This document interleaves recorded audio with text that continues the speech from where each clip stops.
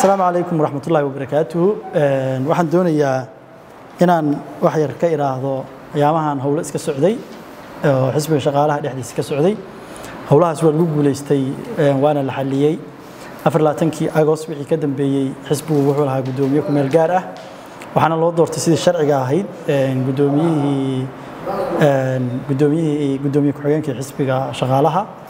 Halkaas waxaan rabaa inaan uga baxo arrinta doorashada guddoomiyaha waxaan jecelahay inaan wax yar ka idhaahdo barnaamijyo propaganda ah oo ayaamahan la wado oo sheegaysa in xisbiga shaqaaluhu kala jabay in xisbiga shaqaaluhu kala qaybsan yahay.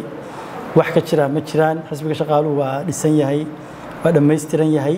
Keliya waxaa xilkii xilgudasho la'aan iyo qodobo lagu soo eedeeyey dartood xilkii looga qaaday guddoomiyihii xisbiga. Waxaan rabaa inaan aad u bogaadiyo oo qodob muhiima aan ku dara ah sideedaba xisbi ma aha wax uu qabiil leeyahay wax gobol leeyahay ama wax koox gaara leedahay. Markuu xisbiga noqdo wuxuu ka baxayaa xeer walba oo horey dadku u aaminsanaayeen. Qof kasta oo ka mid ah iyo qof kasta oo waxa la yidhaahdo soo galay iyo dadkii wax ka aasaasay iyo xubnihii hore u joogayba waxay ka mid noqonayaan same right bay yeelanayaan.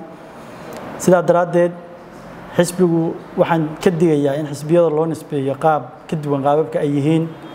Tusaale ahaan in qaab qabiil ama magac diimeed ama magac urur kale loo fiirsho. Sidoo kale waxaan aad iyo aad aad iyo aad waxaan rabaa inaan halkan iyadana uga caddeeyo in ay jiraan xisbiyo badan oo siyaasadeed oo qaarkoodna horey u caddaysteen inay diideen doorashada. Qaarkoodna hadda ay ku howlan yihiin inay hor istaagaan. Loogama faa'iidaysan karo ururka shaqaalaha xisbiga shaqaalaha loogama faa'iidaysan karo fursaddaas bannaan buu taagan yahay. Xisbiga shaqaaluhu wuxuu wax ka dhisanayaa golayaasha deegaanka ee hadda loo madlan yahay shaqadoodu socoto.